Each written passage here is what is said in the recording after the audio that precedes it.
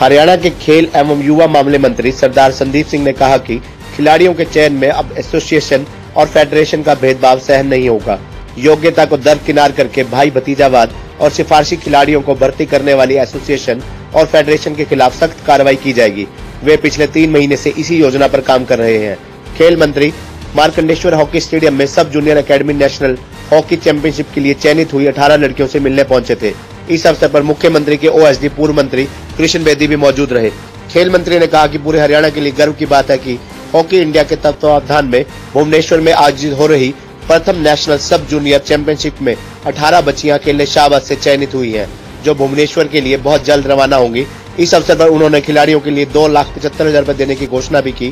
खेल मंत्री संदीप सिंह ने कहा कि मुख्यमंत्री मनोहर लाल के मार्गदर्शन में लगातार ये प्रयास किया जा रहा है कि एसोसिएशन और फेडरेशन को नीट एंड क्लीन कैसे बनाया जाए। उन्होंने कहा कि एक खिलाड़ी को ज़्यादा से ज़्यादा उसके अभिभावकों का, उसके कैरियर में योगदान होता है। अपने बच्चे को प्रैक्टिस के लिए भेजते समय अभिभावक सुबह जल्दी उठते हैं, अपना पेट काट कर बच्चे की हर ज़रूरत को पूरा करते हैं। लेकिन चयन के समय फेडरेशन और एसोसिएशन सरकार के कोच और खिलाड़ी को दरकिनार करके अपने कोच खड़ा कर देती है, तथा भाई भतीजावाद फैलाते हुए अयोग्य खिलाड़ियों का चयन कर योग्य और मेहनती खिलाड़ियों की अनदेखी की जाती है। लेकिन अब ऐसा नहीं होगा। उन्होंने कहा कि यदि एक फौजी देश के लिए लड़ता है तो एक खिलाड़ी भी देश के लिए खेलता है। उनके साथ बिल्कुल भेदभाव नहीं सहन होगा। मुख्यमंत्री के ओएसडी कृष्ण बेदी ने कहा कि नई खेल नीति से खिलाड़ियों में जोश पैदा हुआ है। पैरालंपिक व पैरा एथलीट खिलाड़ियों को जनरल कैटेगरी में शामिल करके मुख्यमंत्री ने ऐतिहासिक घोषणा की है, जिससे खिलाड़ियों का मनोबल मज़बूत हुआ है। इस अवसर पर बीबी करतार कौर, लेफ्टिनेंट विक्रमजीत सिंह, गुरजिंदर बैंस, करणजीत, करण राजतुर बलदेव राज सेठी, प्रधान बलदेव राज चावला, नरेश कुमार डीएसओ बलबीर सिंह, दयानंद कमल शर्मा, कुलवंत शर्मा, पंडित तेगचंद त्रिलोचन हांडा, नरेंद्र विर्क गौरव अंतिल, गुरप्रीत कम्बोज कृष्ण मौर्य, खेल मंत्री के मीडिया एडवाइजर विकास राणा सहित कई लोग मौजूद रहे। ये फेडरेशन जो है, ये सही है, सरकार सही नहीं है। लेकिन जब अब मैं सरकार में आया, मुझे पता लग रहा है कि ये फेडरेशन का बहुत बड़ा रोल है खिलाड़ियों को आगे पहुँचाने का। सरकार के साथ पैरलर अच्छा काम करेंगी तो बच्चों की लाइफ बनती है। हमारे केंद्र के मंत्री स्पोर्ट्स मिनिस्टर माननीय किरण रिजिजू जी ने एक शब्द कहे थे कि जब फेडरेशन चलती है तो सरकार को पैरलर चलना पड़ता है और सरकार चलती है तो फेडरेशन को पैरलर चलना पड़ता है। जब दोनों चलेंगे तो खिलाड़ियों का भविष्य बनता है। ये बात स्टेट की जितने भी फेडरेशन हैं मीडिया के माध्यम से कहना चाहता हूँ कि कृपया करके खिलाड़ियों के भविष्य के साथ ना खेलें।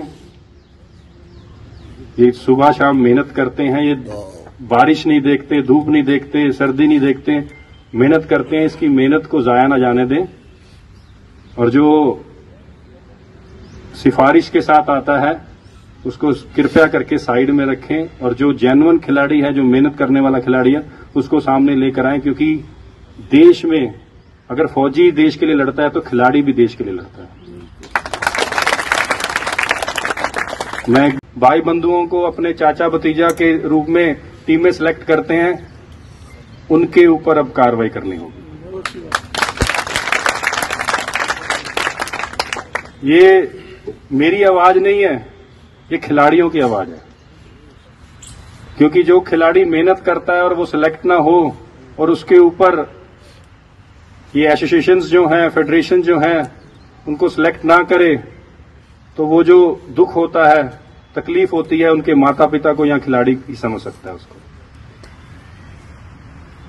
इसके ऊपर मैं पिछले लगभग तीन महीने से काम कर रहा हूँ इस इस पॉइंट के ऊपर कि फेडरेशंस को हम किस तरीके से नीट एंड क्लीन किया जाए। क्योंकि देखिए, हरियाणा सरकार के जो कोच हैं, वो दिन रात मेहनत करते हैं, खिलाड़ियों को बनाते हैं। जब सिलेक्शन का समय आता है तो ना तो कोच को पूछा जाता है, ना खिलाड़ी को पूछा जाता है। वो अपने ही कोच खड़े कर देते हैं और वो सिलेक्ट करते हैं जो भाई भतीजा होता है। हॉकी में नहीं, बाकी गेम्स में भी प्रॉब्लम है। जब मैं